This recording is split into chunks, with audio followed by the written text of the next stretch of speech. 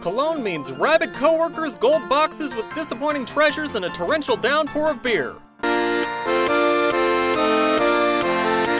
My family drives me to Cologne early to find my hotel and enjoy the afternoon before we have to say goodbye. The Cologne Cathedral is right next door, so we kill time by exploring it. I'll get into more detail about the history of the building later, but for right now, just know that it's an UNESCO World Heritage Site. People climb up one of its spires to get an overview of the city, but we're too exhausted to even try.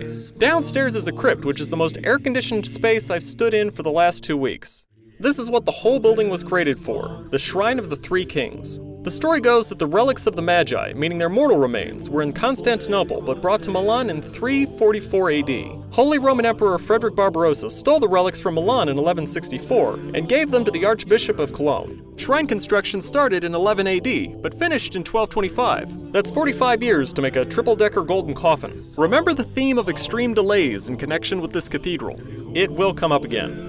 The box contains the remains of a young boy, a man, and an elderly man if eyewitness reports from July 20th, 1864 can be believed. Just to be clear, in my opinion, these are three random corpses that Barbarossa found. He was more conqueror than archaeologist. We meet Barbara, a former student of my father, for lunch. She leads us to a local restaurant she likes called Spitz. I ask what's good on the menu and she says she normally gets liver. I falter in my adventurous spirit and get pork, which immediately makes me feel guilty for not trying something new. Anyway, Barbara is closer to my age, so I have a fun time asking her about the city and what people do for fun. We make plans to meet again so she can show me around town.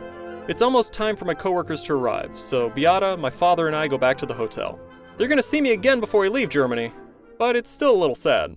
My coworkers. My coworkers arrive like a group of crazed hobos with no idea of what the local time is. Even though I know that it's well before 6 p.m., everyone starts drinking.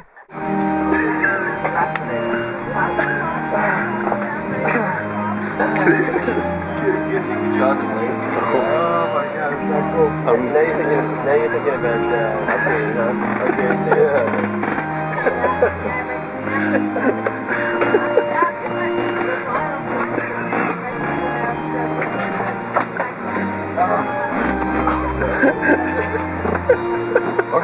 okay.